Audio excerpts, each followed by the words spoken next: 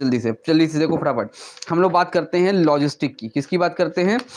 Logistic की। Logistic होता क्या है? देखो बेटा लॉजिस्टिक का मतलब होता है कि आप, देखो क्या लिखा है। लॉजिस्टिक एक क्या है? प्रोसेस है। Logistic the process of managing the movement and storage of raw material managing the movement and storage of raw material parts and finish product from the supplier through the firm on customer जब suppose मान लो यहाँ से आपका production start हुआ।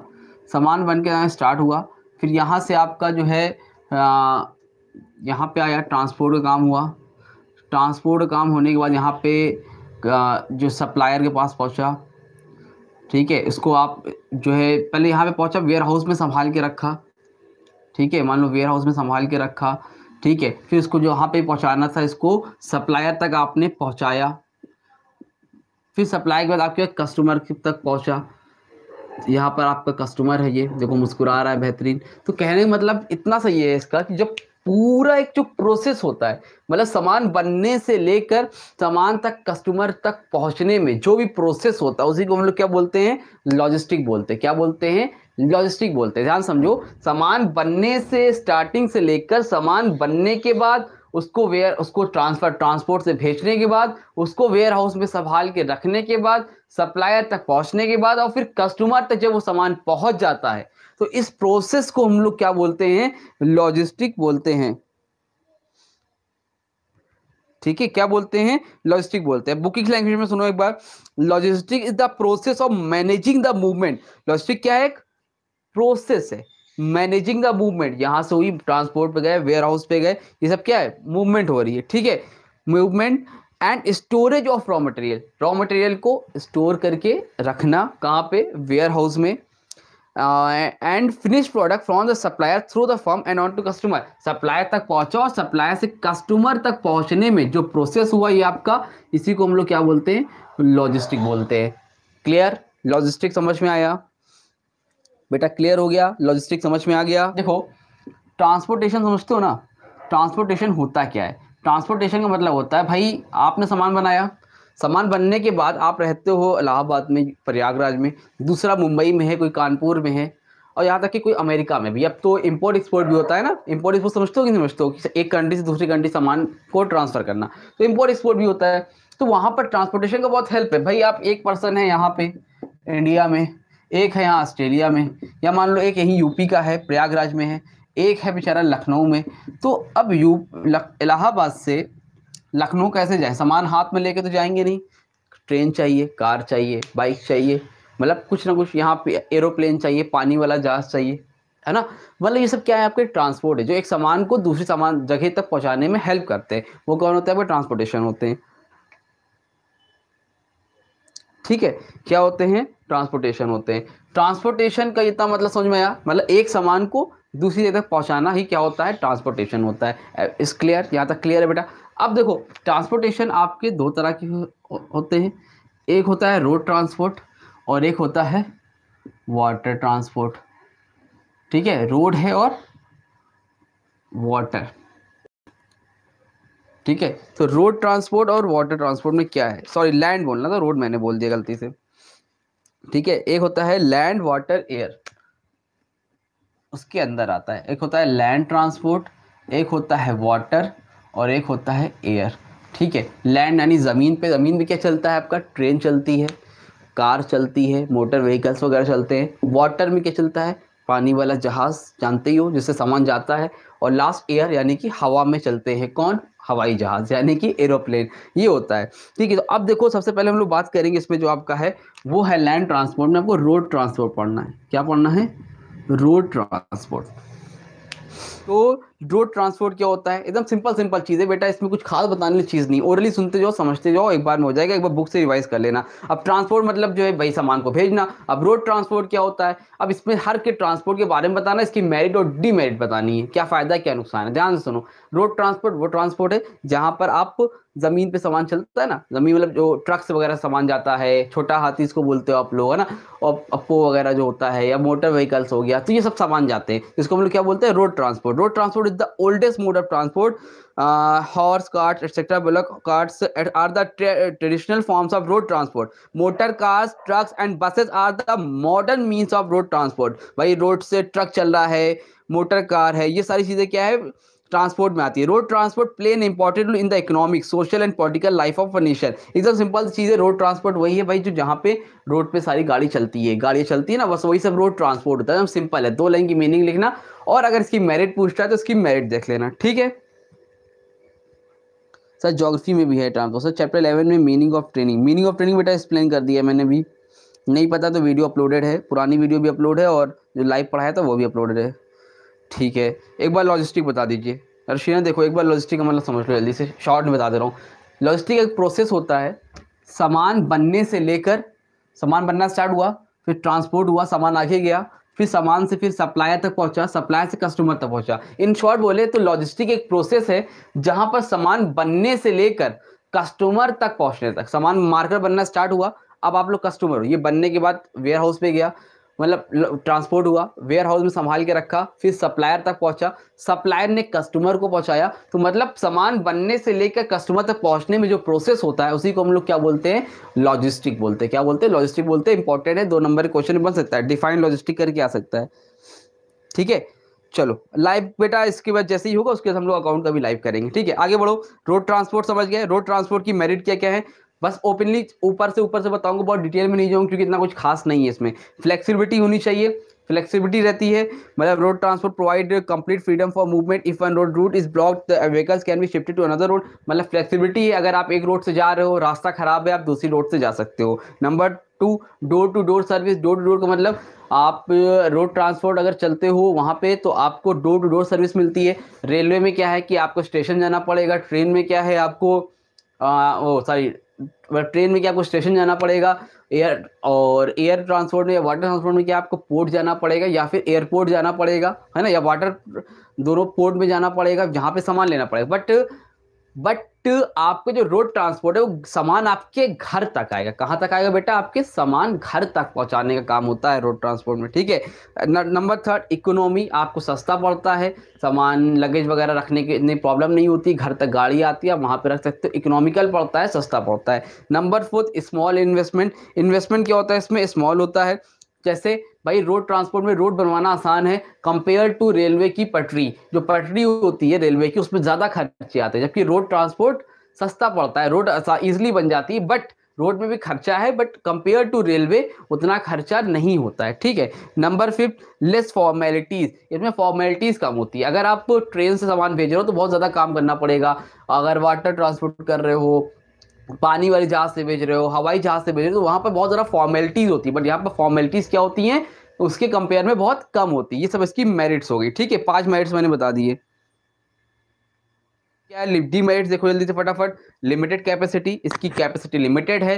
वो यानी कि कौन से व्हीकल्स की कैपेसिटी लिमिटेड है? आपके रोड ट्रांसपोर्ट की। भाई, आप किस पे सामान रखते हो? ट्रक पे। तो लिमिटेड ही है ना? एक ट्रेन के बराबर तो ट्रक होती नहीं है तो लिमिटेड कैपेसिटी कैपेसिटी क्या उसमें? लिमिटेड है। Number two undependable road transport is not fully dependable road because on flood snowfall etcetera कभी कभी ये डिपेंडेबल अनडिपेंडेबल होती है मतलब इसके लिए रास्ता तो रोड ही अगर रास्ते में फ्लड आ गया है बाढ़ आ गई है पानी है या फिर स्नो फॉल हुआ है तो ये सब में रो, रोड ट्रांसपोर्ट काम नहीं करता। रास्ता बंद है तो कहाँ से जाओगे? ठीक है ये सब दिक्कतें आती हैं। इसकी डिमेरिट्स होगी।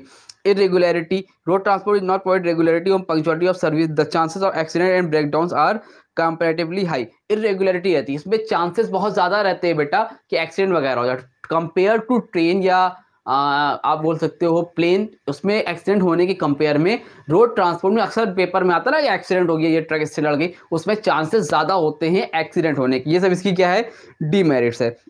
लैक ऑफ़ सेफ्टी वही बात है कि सेफ्टी की कमी होती भाई। आप रोड पे जब चलते हो तो वहाँ पर एक्सीडेंट आपको सुनने को अक्सर मिलते हैं। डेली एक दो हो जाते हैं। न जाने पूरे हमारे देश में न जाने कितने एक्सीडेंट दिन भर में होते हैं। तो लैक ऑफ़ सेफ्टी यहाँ पर ये एक रिस्की रहता है। फिर क्या है? फ्लक्चुएटिंग रेट्स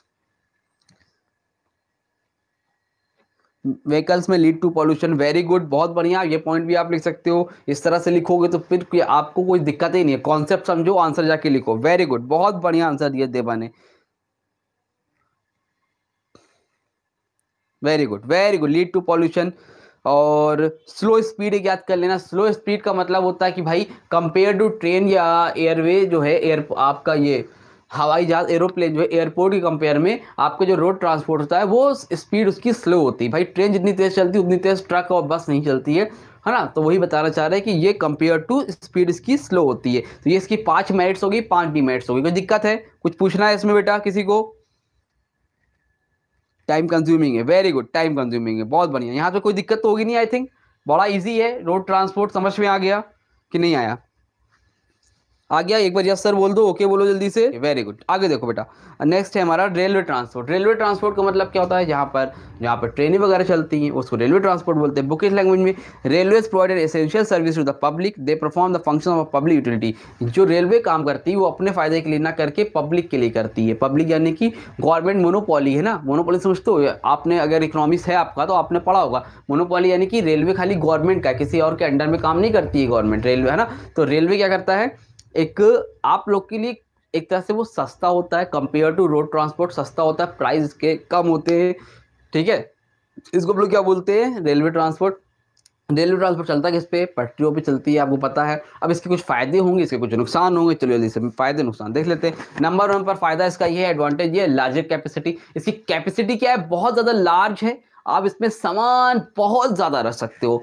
ट्रेन देखा ना कितनी बड़ी होती है तो लार्जर कैपेसिटी होती है। नंबर टू डिपेंडेबल ये डिपेंडेबल है खुद पे। वो उसकी डिमेरिट्स थी रोड ट्रांसपोर्ट की, रास्ता खराब है तो नहीं जा सकते, लेकिन डिपेंडेबल है, इसकी अपनी खुद की पटरी है, खुद का रास्ता है, ये करते हुए चली जाती है, ठीक है। नंबर थर्ड सेफ्टी सेफ्टी रहती है compare to road transport railway में उतने एक्सीडेंट नहीं होते। एक्सीडेंट तो रेलवे में भी होते हैं ट्रेन के भी होते हैं बट उसके कंपेयर में इतने ज़्यादा चांसेस नहीं रहते हैं। सारे सिस्टमेटिक रहता है। वहाँ पर साम, एक ट्रेन जाती है, दूसरी ट्रेन नहीं आती। बहुत ना चाहते हुए कोई एक्सीडेंट हो जाए तो अलग बात है, नहीं जनरली नहीं होता है। Number four economical rail transport is a cheaper mean for carrying bulky goods over long distance भाई बल्कि गुड्स अगर आप लॉन्ग डिस्टेंस तक जाना है तो आप लोग के लिए रेलवे सस्ता ही होता है। आपको ऐसे भी कहीं जाना है तो ट्रेन सस्ता पड़ता है। हवाई जहाज़ कितना महँगा पड़ता है? बस तो यार कंफर्टेबल नहीं है। ऑलरेडी बस भी महँगा ही होता है कंपेयर टू ट्रेन तो ट्रेन ही एक ऐसा है, जो कि आप लोगों के लिए सबसे सस्ता सबसे सस्ता है।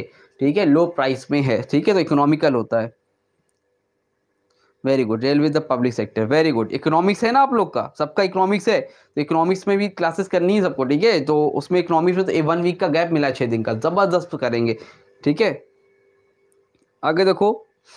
आपका है नेक्स्ट है high speed compare to road transport इसकी स्पीड क्या होती है बेटा? हाई होती है। एकदम क्लियर है, एकदम छोटी सी चीज़ है। कोई दिक्कत नहीं होगी आई होप यहाँ तक। समझ में आ गया। ठीक है, चलो, आगे देखते हैं। अब डिसएडवांटेज एडवांटेज में कुछ पूछना है किसी को? रेलवे ट्रांसपोर्ट के एडवांटेज में किसी कुछ पूछना है क्या? Any one any one no ठीक है, इसकी डिमेरिट्स है। ह्यूज कैपिटल आउटले भाई, इसमें पैसा ज़्यादा लगता है। रेलवे में पैसे ज़्यादा लगते हैं। सस्ते होते हैं। रोड ट्रांसपोर्ट सस्ता पड़ता है हमें। भाई, उसमें रोड बनवा दिए पटरी में बहुत खर्चे होते हैं, बहुत टाइम टेकिंग होता है। इनफ्लेक्सिबिलिटी इसमें क्या होता है? Inflexibility railway follow fix routes and time schedule no adjustment are made to suit the need and convenience जैसे आप गाड़ी से जा रहे हो तो आप रास्ता चेंज कर सकते हो, लेकिन ट्रेन में कोई रास्ता नहीं कि आप ट्रेन को यू मोड़ दो। ट्रेन को मोड़ नहीं सकते हो। ट्रेन सीधी जा रही सीधी जा रही है। अगर कोई ट्रेन आ रही तो आपको वेट करना पड़ेगा। तो ये क्या बोले? नो फ्लेक्सिबिलिटी यानी कि या फिर इनफ्लेक्सिबिलिटी लेकिन रोड ट्रांसपोर्ट में क्या था? इसकी फ़ायदा था ये। फ्लेक्सिबिलिटी थी, लेकिन इसमें क्या इनफ्लेक्सिबिलिटी इसकी डीमेरिट्स है। नंबर थर्ड एक्सपेंसिव महँगा पड़ता है भाई, महँगा पड़ता है। Maintenance and other operating cost और रेलवे और वेरी हाई मतलब इसकी जो मेंटेनेंस चार्ज है ना, वो महँगा पड़ता है। भाई, हम लोग के लिए तो कस्टमर के लिए तो ईजी है, लेकिन गवर्नमेंट के लिए महँगा पड़ रहा है। समझ पे आ रही बात? उसको मेंटेन करना, उसमें चार्जेस करना एसी वगैरह सब तो लगा रहता है। देखा कभी ट्रेन गया कितनी लंबी होती है? तो खर्चा उसके मेंटेनेंस चार्ज क्या होते हैं? बहुत ज़्यादा होते हैं। Delay it is not always convenient to send goods by rail time is wasted in booking and delivery formality terminal delay is cause by waiting for full wagon shunting of wagon etcetera delay हो जाता है अक्सर time train अक्सर आपने सुना होगा late हो गई है कोरा वगैरह हो जाता है, कुछ ना कुछ मतलब लगा रहता है। ज़रूरी नहीं है ट्रेन हमेशा टाइम पे ही पहुँचे। डैमेज भाई ट्रेन में सामान की जो आप भेजते हो, उसके डैमेज होने के भी चांसेस बहुत ज़्यादा रहते हैं। जिस कंपेयर टू रोड ट्रांसपोर्ट ठीक है? तो वहाँ पे डैमेज हो जाता है लापरवाही की वजह से चीज़ें सही से पैक नहीं हो पाती। जिस तरह आप अपने रोड ट्रांसपोर्ट में अपने हिसाब से पैकिंग कर लेते हो रेलवे में उस हिसाब से आप नहीं कर पाते, वो आपको रेलवे के ऊपर डिपेंड होना पड़ता है। इसलिए डैमेज होने के चांसेस वहाँ पर ज़्यादा रहते हैं। सर मेरिट ऑफ़ रेलवे बेटा मेरिट ही तो बता रहा था, बता रहा था। मेरिट एडवांटेज एक ही होता है। ठीक है बेटा एडवर्ट डिसएडवांटेज कोई दिक्कत यहाँ पे? नेक्स्ट क्या है बेटा? वाटर ट्रांसपोर्ट वाटर ट्रांसपोर्ट क्या होता है? वाटर ट्रांसपोर्ट जहाँ पानी पे जा, जाता है सामान। पानी समझते हो? जहाज़ पे जाता है ना पानी वाले। उसको हम लोग क्या बोलते हैं? वाटर ट्रांसपोर्ट बोलते हैं। ठीक है? और वाटर ट्रांसपोर्ट अब इसकी वाटर ट्रांसपोर्ट की मेरिट क्या है? डीमेरिट क्या है? मेरिट बेटा इसकी सबसे पहले लो कॉस्ट इसमें क्या होता है? कॉस्ट लो लगती है।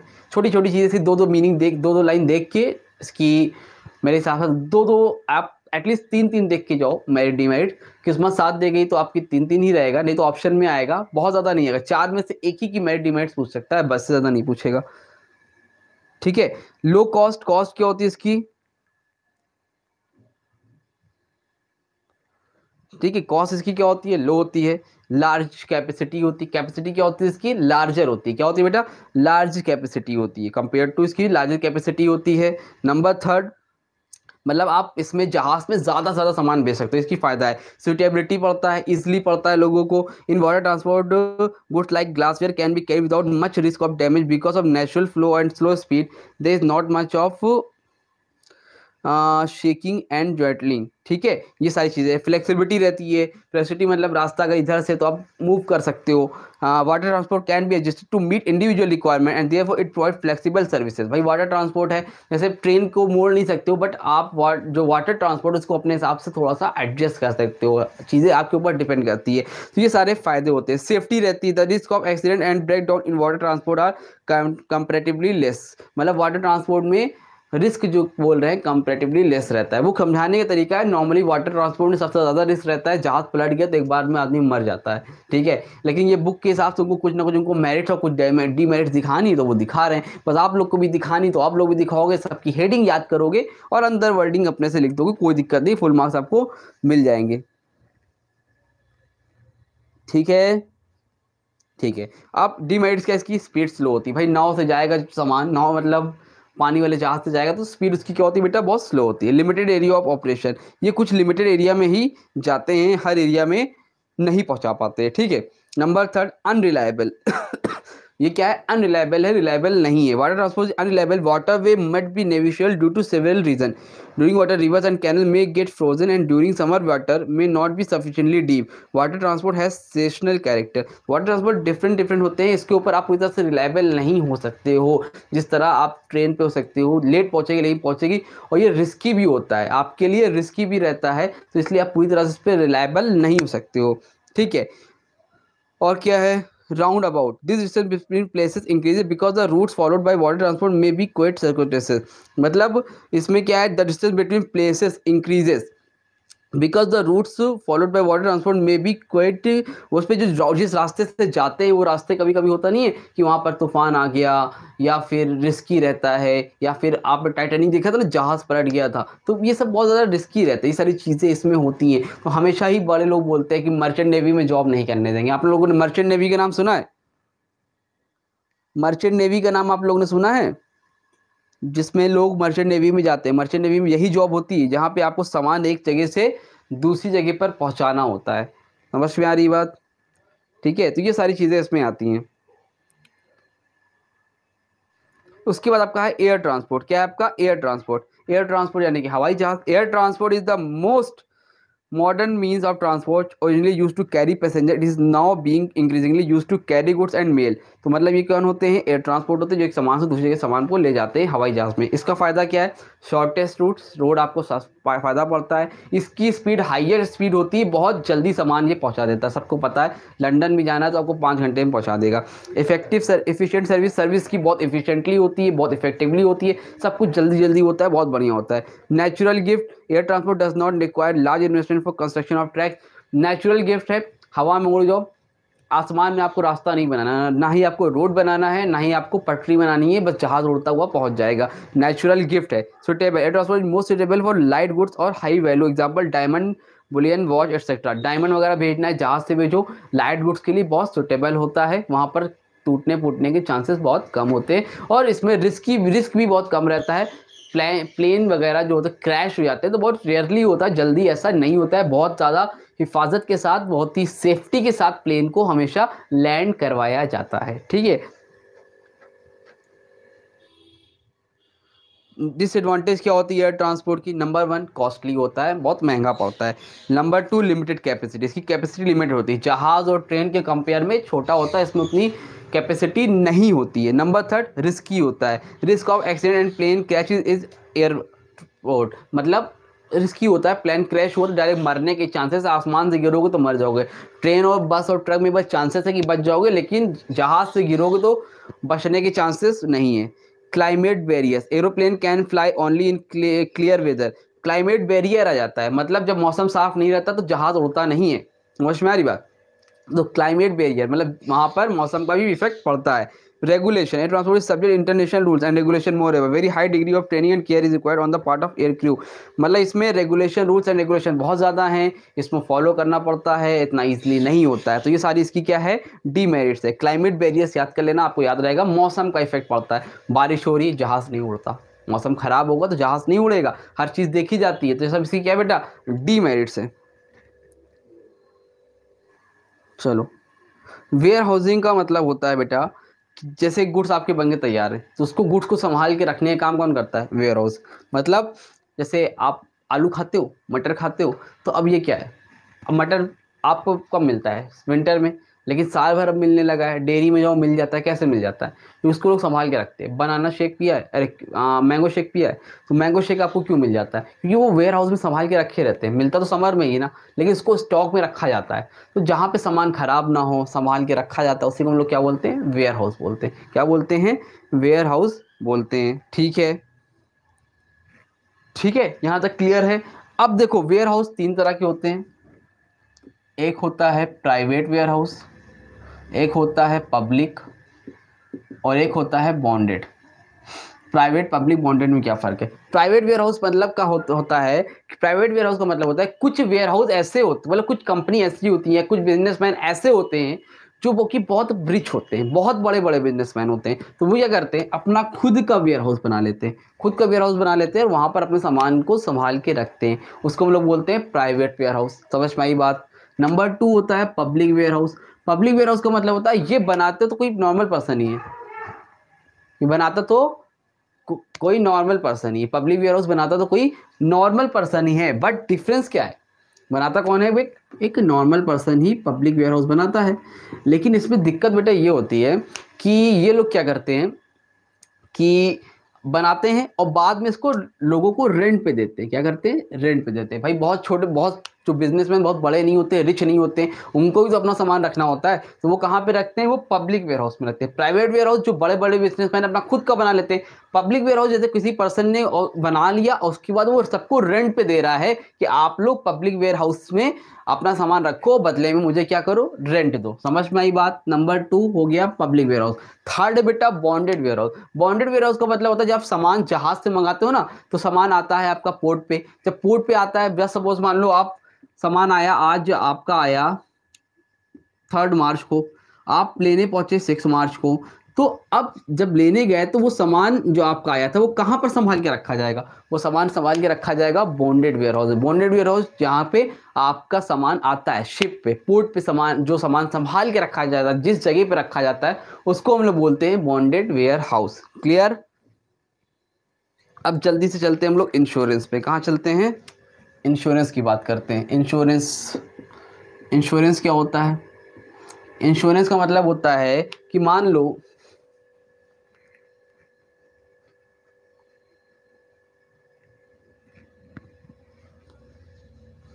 देखो, इंश्योरेंस का मतलब क्या होता है? देखो, इंश्योरेंस का मतलब बेटा ये होता है कि जैसे आप हो जस्ट सपोज़ मान लो, आप हो तो एक हस्बैंड है, एक उनकी वाइफ है, उनके बच्चे हैं छोटे छोटे तो अब मान लो जब सपोज़ इसको कुछ हो गया तो इनकी ज़िम्मेदारी कौन लेगा? इनको कुछ होगा ज़िम्मेदारी कौन लेगा? तो इंश्योरेंस कंपनी बोलती है कि इनकी ज़िम्मेदारी हम लेंगे।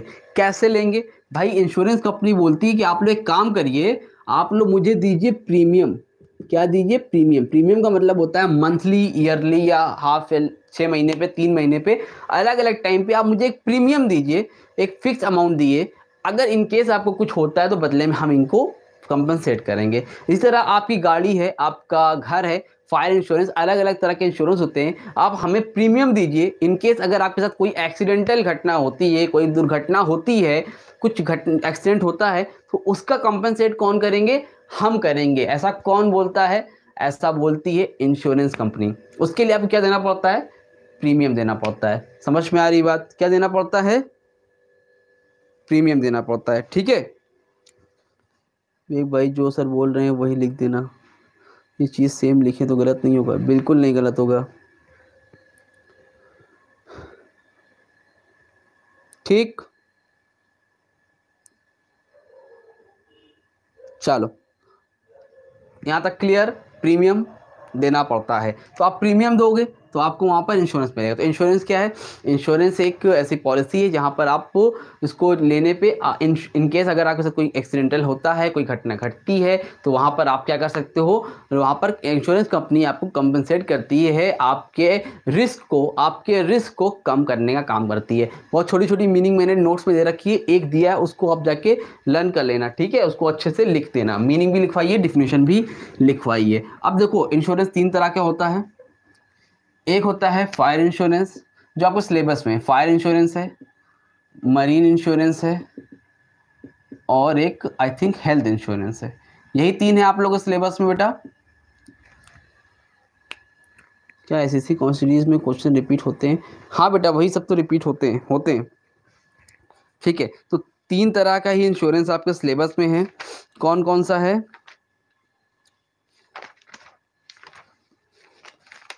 फायर इंश्योरेंस हेल्थ इंश्योरेंस और मरीन इंश्योरेंस।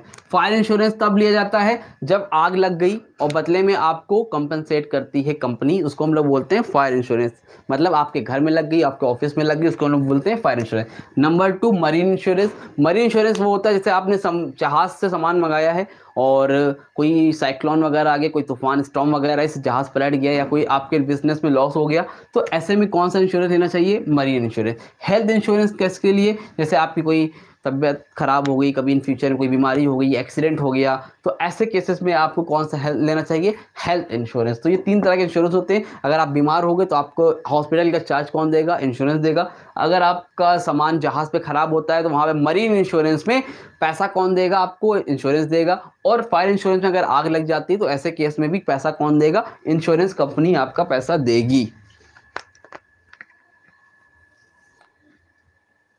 लाइफ इंश्योरेंस, ठीक है? देखो, लाइफ इंश्योरेंस क्या होता है? एक लाइफ इंश्योरेंस भी तो लाइफ इंश्योरेंस देख लो, जल्दी से देखो। देखो, लाइफ इंश्योरेंस का मतलब होता है, देखो, fire insurance marine insurance, health insurance, समझ गए? लाइफ इंश्योरेंस का मतलब होता है, जैसे आपने इंश्योरेंस लिया, जैसे इसने लिया। इसने इंश्योरेंस लिया, अगर इसकी डेथ हो गई तो डेथ हो गई तो इसका पैसा किसको मिल जाएगा? इसके फैमिली वालों को मिल जाएगा, ठीक है? तो लाइफ इंश्योरेंस में इतना डिफरेंट है और बाकी के इंश्योरेंस में, यानी अदर इंश्योरेंस में डिफरेंट इतना सा है कि अगर मान लो लाइफ इंश्योरेंस आपने लिया है और अगर जिसने लिया उसकी डेथ हो जाती है तो उसकी जगह पर जो दूस, उसके फैमिली है, उसको कंपनसेट किया जाएगा। और मान लो अगर उसकी डेथ नहीं होती, तब क्या होगा? तब उसको पैसा मिल जाएगा। समझ में बात? लाइफ इंश्योरेंस एक इकलौता ऐसा इंश्योरेंस है जिसमें अगर एक्सीडेंटल हुआ अगर आप मरे तो पैसा मिलेगा, नहीं मरे तब भी आपको पैसा मिलेगा। मर गए तो आपकी फैमिली को मिलेगा, नहीं मरे तो आपको मिल जाएगा। इसको हम लोग बोलते हैं लाइफ इंश्योरेंस लेकिन फायर इंश्योरेंस मरीन इंश्योरेंस और हेल्थ इंश्योरेंस में क्या डिफरेंस है? फायर इंश्योरेंस हमारे वो इंश्योरेंस होते हैं जिसमें अगर आग लगी तो आपको कंपनसेट मिलेगा। आग नहीं लगी तो जो आपने प्रीमियम दिया एक हज़ार, दो हज़ार, तीन हज़ार, वो आपको वापस नहीं मिलेगा। समझ नहीं आ रही बात? मरीन इंश्योरेंस है। वही हाल उसका है, वही हेल्थ इंश्योरेंस का है। अगर आप बीमार हुए, तब पैसा मिलेगा तो नहीं तो नहीं मिलेगा। लेकिन इसमें लाइफ इंश्योरेंस में अगर आप मरे, आपकी डेथ हुई तो आपको पैसा आपकी फैमिली को मिलेगा। और अगर नहीं मरे तो आपको मिल जाएगा। समझ में आई बात? चलो। अब हम लोग आते हैं principle of insurance life insurance समझ गए कि नहीं समझे? जल्दी बोलो यस और नो यस और नो बेटा? जल्दी बताओ, समझे कि नहीं समझे? चलो आगे देखो। Principle of insurance hundred percent guaranteed आएगा। हंड्रेड परसेंट इसमें से क्वेश्चन आएगा आपका। क्या क्या होते हैं प्रिंसिपल ऑफ़ इंश्योरेंस ध्यान से देखो। और ध्यान समझना नहीं, समझ में नहीं आएगा। नंबर वन है utmost good faith utmost good faith बहुत इंपॉर्टेंट टॉपिक है ये। ध्यान से समझना और पेपर में कल आएगा ये। सब लोग समझ लो हंड्रेड परसेंट आएगा पेपर में, ये आना ही आना है। हो ही नहीं सकता कि पेपर में नहीं आए। कल आके बताना कि सर आया था कि नहीं आया था। लिख लो इस बात को। Utmost good faith principle insurance मतलब होता है कि इंश्योरेंस में कुछ प्रिंसिपल होते हैं जिनको हमें फॉलो करना चाहिए, ठीक है? Number one utmost good faith utmost good faith का मतलब होता है कि आप अगर इंश्योरेंस ले रहे हो तो आपको क्या करना चाहिए? फेथ रखना चाहिए। भाई, एक कंपनी होती है, एक इंश्योर पर्सन जो इंश्योरेंस लेता है, एक इंश्योरर होता है जो इंश्योरेंस करता है। इंश्योरर होता है जो इंश्योरेंस करता है, एक होता है इंश्योर्ड पर्सन जो कि इंश्योरेंस लेता है। एक इंश्योर करने वाला कंपनी और एक इंश्योरेंस लेने वाला जो भी पर्सन है। तो अटमोस्ट गुड फेथ आपको फेथ रखना चाहिए, आपको किसी तरह की चीट नहीं करनी चाहिए। अगर आप इंश्योरेंस करा रहे हो तो अगर मान लो आप बीमार हो, आप किसी, मान लो किसी पर्सन को कैंसर है और वो इंश्योरेंस ले रहा है, उसको पता है कि हम छः महीने बाद मर जाएँगे, लेकिन इंश्योरेंस कंपनी से छुपा रहा है तो ये गलत बात है, उसको बता देना चाहिए। और इस तरह कंपनी ने कोई पॉलिसी है छुपा के रखी है, बाद में बोले, नहीं, पैसा नहीं मिलेगा। तो नहीं तो दोनों को गुड फेथ रखना चाहिए, किसी को किसी के साथ चीट नहीं करना चाहिए। ये होता है अटमोस्ट गुड फेथ का मतलब ठीक है?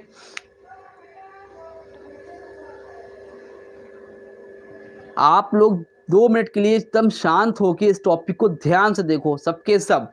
बहुत इंपॉर्टेंट है। जब मैं पूछूँ क्लियर है तो क्लियर होके बताना। अभी कोई किसी का कमेंट नहीं आना चाहिए, ठीक है? एकदम ध्यान से देखो। अटमोट गुड फेथ हो गया। उसके बाद है इंश्योरेबल इंटरेस्ट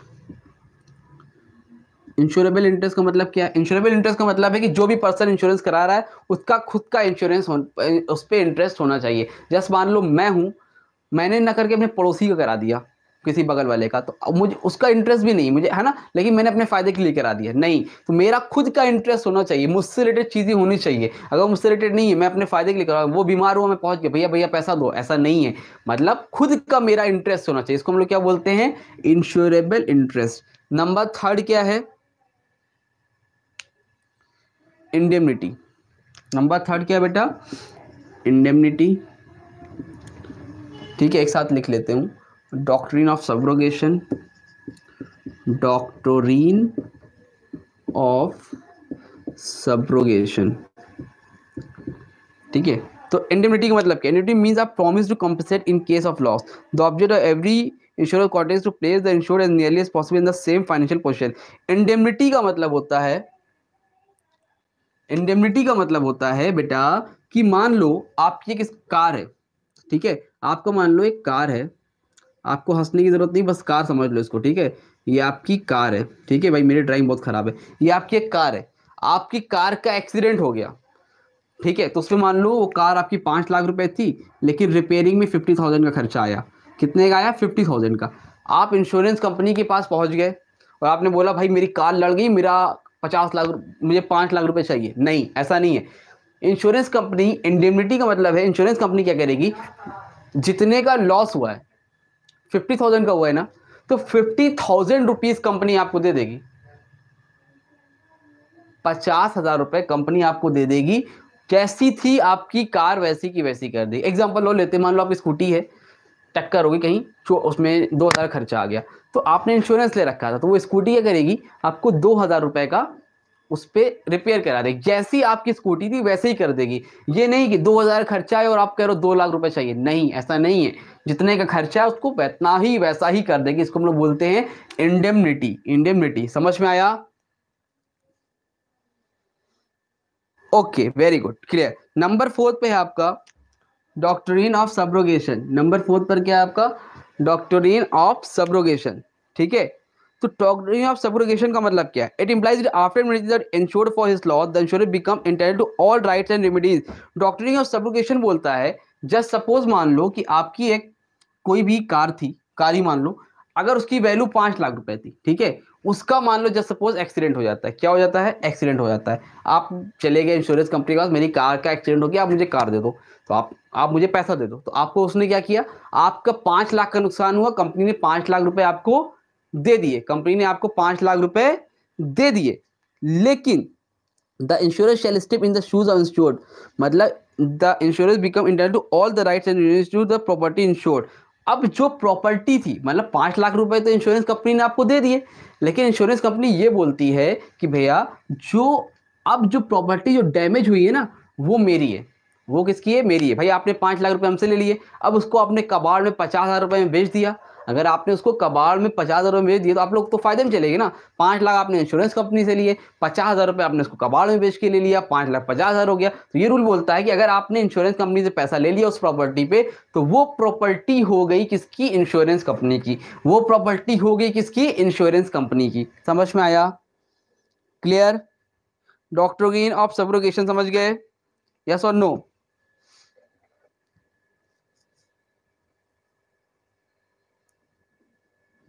क्लियर है? बहुत इंपॉर्टेंट है, देखते जाओ। नंबर फिफ्थ नंबर फिफ्थ पे है बेटा आपका कंट्रीब्यूशन कंट्रीब्यूशन का मतलब होता है कि मान लो जब सपोज़ एक कोई पर्सन है है ना एक उसने एलआईसी कंपनी से इंश्योरेंस लिया, दूसरा उसने सहारा से लिया।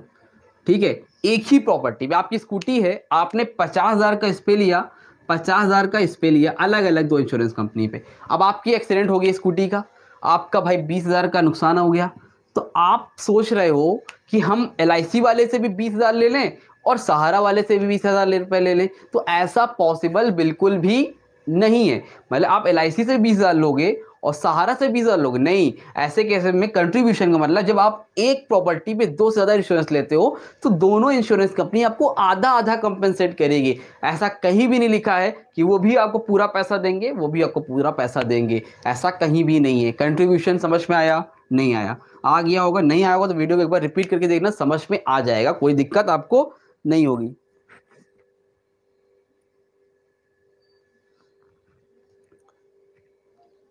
मन, एक बार और, कौन सा बेटा, और एक बार कौन सा बताना, जल्दी बताओ। वॉइस नहीं आ रही है सर आपकी। वॉइस तो क्लियर है आई थिंक अशीना जो, थोड़ा पीछे करके देख लीजिए। कहाँ पे कौन सा टॉपिक समझ में नहीं है? जल्दी बोलो। Doctrine of subrogation. Doctrine doctrine of subrogation का मतलब समझो। फिर से देख लो एक बार बहुत इंपॉर्टेंट है। डॉक्टरीन ऑफ़ सब्रोगेशन का मतलब होता है जैसे सपोज़ मान लो आपकी एक प्रॉपर्टी है।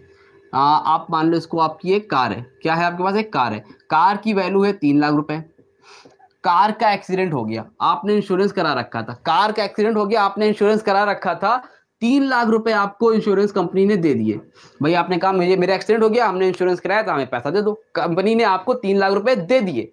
ठीक है कंपनी ने आपको तीन लाख रुपए दे दिए। लेकिन अब कंपनी बोलती है, जो कार का एक्सीडेंट हुआ ना, जो कार एकदम कबाड़ बन चुकी है, वो प्रॉपर्टी अब मेरी है, कार मेरी है। अगर हमने आपको तीन लाख रुपए दे दिए तो वो कार जो है किसकी हो गई? इंश्योरेंस कंपनी की हो गई। आप उसको नहीं रख सकते हो। अगर कोई भी चीज़ है, कोई भी घटना घटती है तो वो पैसा किसका हो गया? इंश्योरेंस कंपनी का हो जाता है। समझ में एक बार जैसे मेरा मोबाइल है। अगर मैंने इस पर इंश्योरेंस ले रखा है इन केस मान लो अगर मैंने इंश्योरेंस ले रखा है, अगर कोई इसमें घटना घटती है और मैंने जाके इसका पैसा ले लिया तो ये मोबाइल इंश्योरेंस कंपनी का हो जाएगा। ठीक है? क्लियर बेटा? कंट्रीब्यूशन समझ गए गया आई थिंक जहाँ पर आपने दो इंश्योरेंस कंपनी से पैसा ले रखा है आधा आधा दोनों लोग पे करेंगे, दोनों, आप इकट्ठा दोनों से नहीं ले सकते हो। ठीक है? उसके बाद नेक्स्ट है आपका। अश्विना को भी क्लियर हो गया है। Aishwarya you from Rourkela Odisha. Yes sir yes sir चलो नेक्स्ट है हमारा। कॉज प्रॉक्सिमा कॉज प्रॉक्सिमा इतना खतरनाक खतरनाक नाम है, लेकिन डरने वाली कोई बात नहीं, बहुत हल्की चीज़ है, बहुत ईजिली चीज़ है। लग रहा है कि बहुत डेंजरस है बट ऐसा कुछ है नहीं इसमें। कॉज प्रॉक्सिमा इसका मतलब क्या होता है सर देखो तो ये बोलते हैं कि आप जब एग्रीमेंट कराते हो तो आपने लिखा है ना, कि अगर आपका कुछ होता है तो एक लाख रुपए ही हम आपको देंगे। वन लाख रुपीज़ ही हम आपको कंपनसेट करेंगे। तो एग्रीमेंट में जितने की बात हुई है इंश्योरेंस कंपनी उतना ही देगी। मान लो आपको पाँच लाख का नुकसान हो गया एग्रीमेंट आपका दो लाख रुपए का बना है तो कंपनी आपको सिर्फ़ और सिर्फ़ कितना देगी? दो लाख रुपए पे ही कंपनसेट करेगी, इससे ज़्यादा पे नहीं करेगी। जितने का एग्रीमेंट हुआ, उतने ही पे देगी। इसी को बोलते कॉस्ट प्रॉक्सिमा कोई बहुत बड़ी चीज़ नहीं है। समझ में ही बात?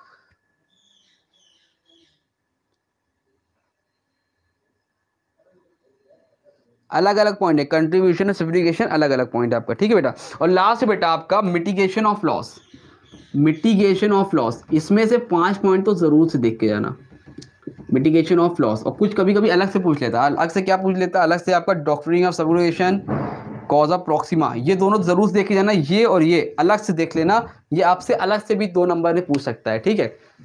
लास्ट है mitigation of loss mitigation of loss का मतलब जैसे आपने मान लो, आपका घर है आपने अपने होम पे, अपने घर पे इंश्योरेंस ले रखा है।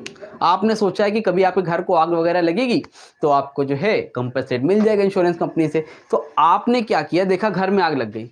और आपके घर में आग लगी है और आप कह रहे हो, ठीक है, बहुत बढ़िया, बहुत खुश हो रहे हो।